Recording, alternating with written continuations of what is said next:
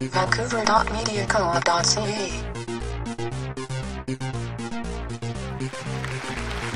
Ah, anti, anticapitalista. Ah, anti, anticapitalista. Ah. You know, I think anyone who was at the protest yesterday realized that it was a different dynamic. It was more family friendly. Uh, today was uh, advertised as being different. Obviously, it was a bit more militant. It was a bit more uh, aggressive. It was to disrupt the games, and I think we've accomplished that. So we're here basically just saying, uh, you know, women for Olympic resistance, women in solidarity with Olympic resistance, women in solidarity with direct action. We're here as the official Olympics cleanup crew. We're here to take care of the incredible damage that the Olympics has caused on communities here in BC and beyond, and to resist corporatization of, of our communities and to resist Olympics on stolen native land and the expropriation of public resources for private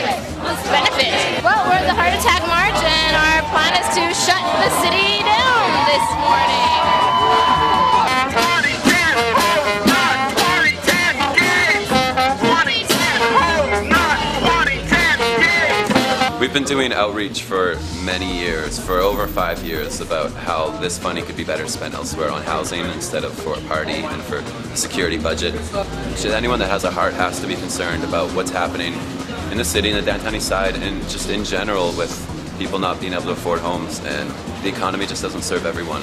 It serves a very specific few. We want to defend social services that, that will offer people a chance maybe to become Olympians without having to, you know, work eight jobs. Yeah. It's it's embarrassing. Yeah. But the government has better things to do with their money, like a billion dollars for police here, or six billion dollars for games-related construction there, and it's a shame. It was supposed to be the greenest games ever. They destroyed one of the most pristine, uh, sensitive environments in the province, Eagle Ridge Bluffs. Not to mention the like fleet of SUVs. They're all brand Absolutely, absolutely. You'll see one guy from uh, IOC or VANOC driving around in a, you know, a van that's got carbon footprint of a building. I mean, it's just, it's, it's ridiculous. It's embarrassing. It's such a farce. For goodness sake, they've been having to helicopter in snow. Yes. What do you think the carbon footprint of a helicopter going seven, eight, nine, ten times a day to fly in snow? Uh, it's it's just it's farcical. It's comical. I mean, it would be really funny if it wasn't so sad, and if there weren't so many people who were suffering as a result of it.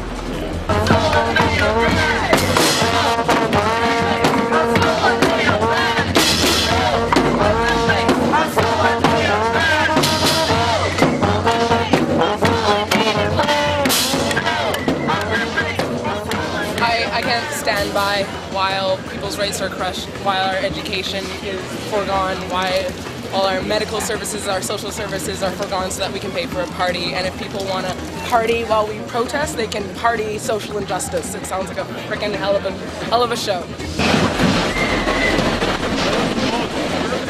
The, the protest was trying to um, blockade the road, Denman and Georgia, to prevent traffic from moving the Lions Gate Bridge to the Sea to Sky Highway to essentially shut down the games or at least shut down a major artery. I mean, a few folks got a bit, uh, a bit more militant, a bit more um, aggressive. That was to be expected. It was that that was kind of the point. People are mad, exactly. Um, and you know, it was it was kind of interesting to watch. We were getting funneled over the course of the day, and uh, it was it was you know the, the police presence was increasing. At the beginning, it was just a few bike cops. At the end, it was riot police with uh, you know armed to the teeth with the uh, tear gas shotguns and the whole you know the whole nine yards.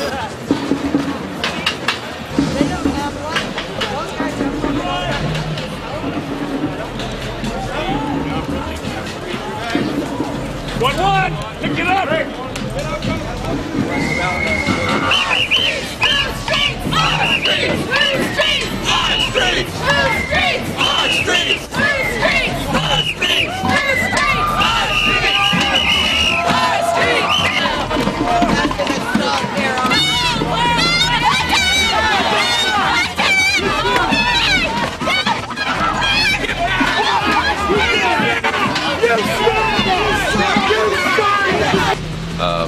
Obviously, there was a diversity of tactics. There was a lot of things that happened, and strategically, whether it's good or bad, I don't know. If you look at the, the stores and the industries that had their windows smashed, Um, if you actually look at their history of what they've done, the Hudson's Bay Company exactly, it was the original government of this land.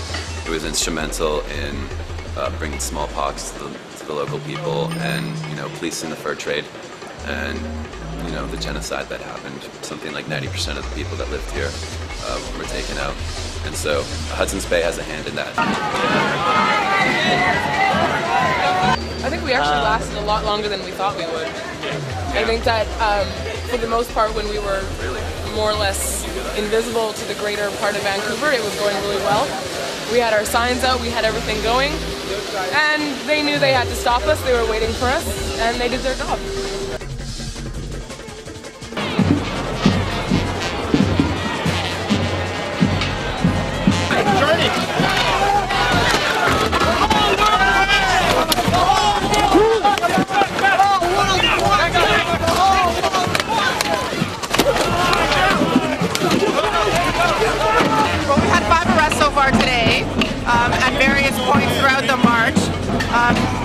They've got the riot squad out in, in, uh, in full force. There's been some reports of violence and um, no chemical weapons yet, but apparently they do have them on, ready to go if, if they're needed. But so far, just the five. And people, I think, are still in the streets and holding the streets, which is the, which is the best part. I think some of the arrests themselves were really quite violent. What the, the, the young woman who was arrested first, um, she that was it was a pretty serious takedown. I mean, I witnessed it, other people witnessed it too. So I think that was that was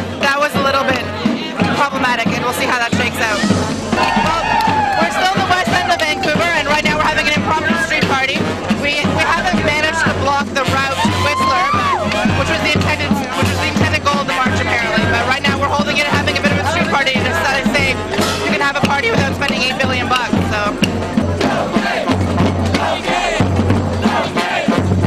When I hear people talking about it, all they're talking about is police brutality, and no one's actually talking about what they're protesting But that's for. because that's the way the media covers it. We've actually had press conferences, there's newsletters that are put out, there's websites. People are trying to get that message across,